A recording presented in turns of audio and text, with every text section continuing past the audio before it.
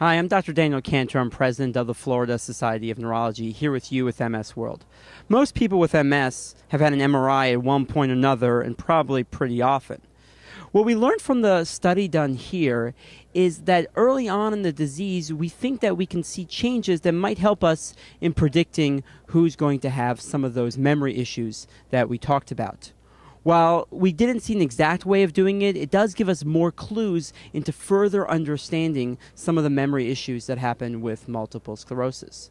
The more research that happens at a place like the American Academy of Neurology, the more we understand about what's going on in terms of memory issues in multiple sclerosis. Of course, our goal is not just to understand the memory issues, our goal is to take a next step and to figure out how to treat those memory issues as well.